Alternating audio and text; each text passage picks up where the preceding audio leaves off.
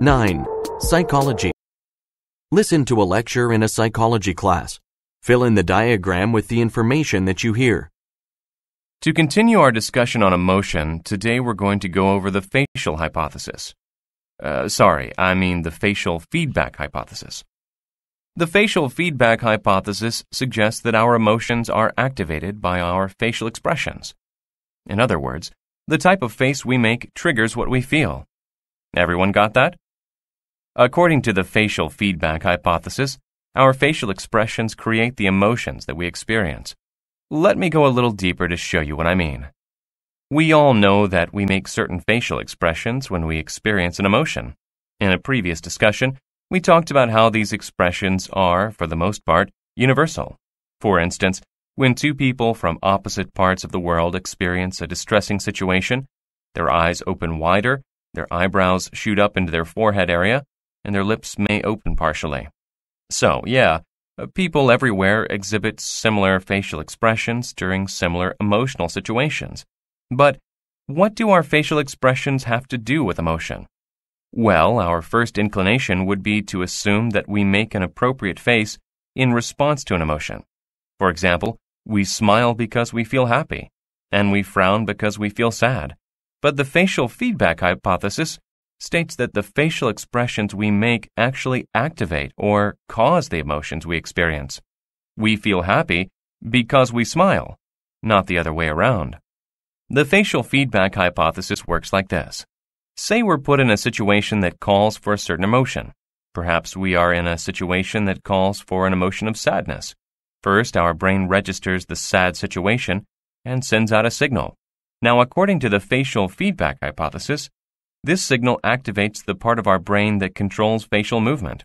So all this happens in the brain, and only after we exhibit the appropriate facial movement do we feel the emotion. Let me take a little detour here to go over what I mean by facial movement. Okay, so uh, we have 80 facial muscles that control our face, 36 of which control facial expressions. These muscles react to form different expressions.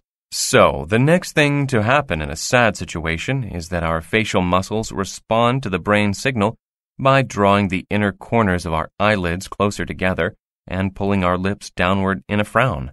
But at this point, we still don't experience the emotion of sadness. Our faces react, but our emotions do not at this point. Finally, feedback from our faces reaches the appropriate program in the brain that controls our emotions. This feedback then activates that program and triggers the emotional response. Only now do we actually experience the emotion of sadness. If this theory is correct, then the facial expressions that we make are essential to how we experience emotion. So, theoretically, a person who lacked control of his facial muscles wouldn't experience any emotion, right? But how do we test the accuracy of this theory? Okay, right now, I want everyone to smile.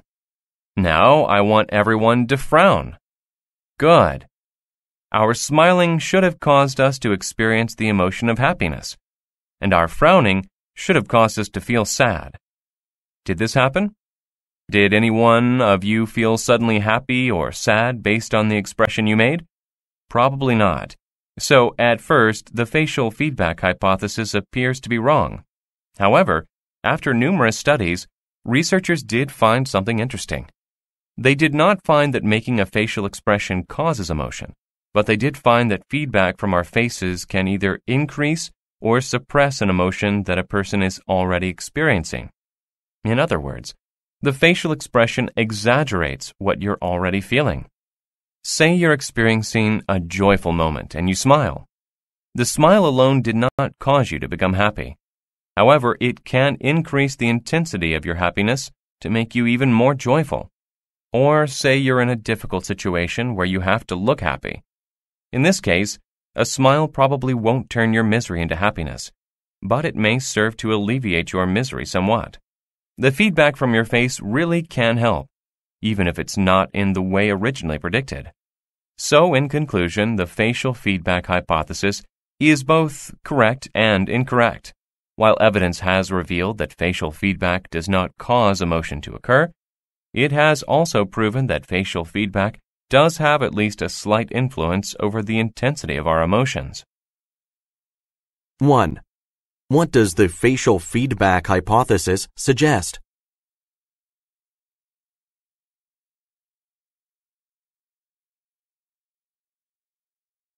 2.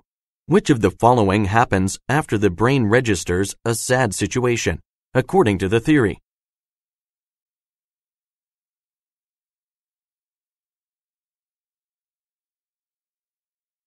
Three.